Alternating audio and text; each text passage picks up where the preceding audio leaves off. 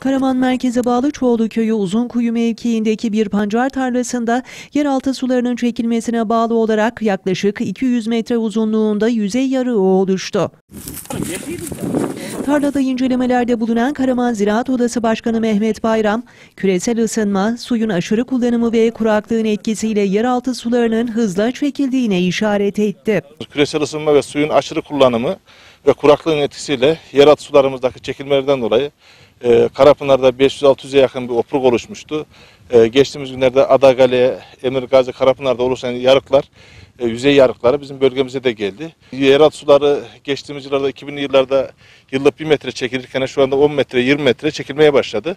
Bu da ister istemez bu doğal afetlerin oluşmasına sebep oluyor. Görüntülerin ürkütücü olduğunu belirten Bayram, geldiğimiz noktaya baktığımızda tarımın devam edebilmesi için dış havzalardan Konya ve Karaman'a suyun gelmesi şarttır, dedi. Ohtamış e, projesinin Ahi kanalının tamamlanması gerekiyor. Karadağ sulama projesinin tamamlanması gerekiyor. Çünkü bizim tarıma ihtiyacımız var. Şu günlerde işte biliyorsunuz aşırı fiyatlar, gıda fiyatları, market fiyatları hep konuştuğumuz şeyler.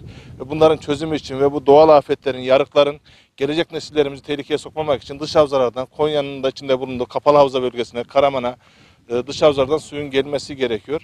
Çok ürkütücü bir olay. Bugün burada gördüğümüz olay zaman içinde bu, e, takip ettiğimiz vakit Karadağ'ın etrafındaki tüm yerleşim alanlarını dolaşıyor.